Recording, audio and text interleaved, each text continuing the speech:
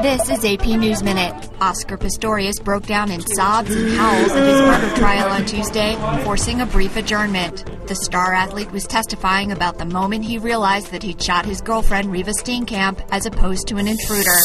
At a hearing on Capitol Hill, Vermont Senator Patrick Leahy said a Twitter like program reportedly designed to foster dissent in Cuba was a quote, cockamamie idea that was not adequately described to Congress when developed by the USAID. The Reverend Al Sharpton says a smoking gun report that he spied on New York Mafia figures in the 1980s is old news. Sharpton says he cooperated with an FBI investigation but never considered himself an informant and the animals at the Paris Zoo are getting ready for their close up. The zoo reopens to the public this weekend after a multi year, multi million dollar makeover.